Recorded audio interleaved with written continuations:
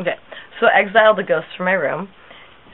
I've had it for a long time since I was a, since I was pretty much a kid. I had a ghost in my room, in this room. So, um, I didn't do anything about it until I had a friend come over, Cancer, very felt you know felt the energy of everywhere she went, and it's the second week that I knew her. Right, this used to be over there when I had French doors instead of sliding glass doors. So, you know hence the lines, which would be it's th- it's basically this door, Uh-huh. but over there. Okay. So this over there, All right. this is over one of the doors. All right. My friend, after two weeks of knowing me, comes up or goes downstairs and says, "Heather, you have a ghost in your room." And I'm like, "Excuse me? How do you know I have a freaking ghost in my room? How'd you know?" Because you knew. Well, I knew, but I didn't tell her. Uh-huh. That's that's the weirdest thing is that she knew without any previous knowledge of the ghost, and so she says, "Okay, I'll be back in an hour." Why is she like this?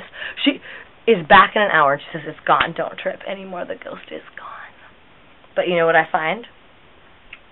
Only this. All I find his face left or her. I thought it was a her always. So kind of looks like a guy in here, but she looks like this. This is an old wrinkled woman. Wrinkles. This is just a piece of cloth that's been. That's, It's the ghost that's trapped. Is it not? I mean, like, like how was how was this so knotted up when it was just laying there like it is now? How it didn't have anything leaning against it. It was just like this. So for me to find it with this freaking face on it, and there's really no denying that that is a face.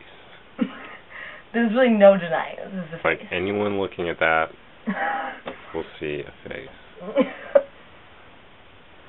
so I, you know, I think it's the ghost I captured. I know it is actually. And he just watches over me, and that's how it goes. That's it.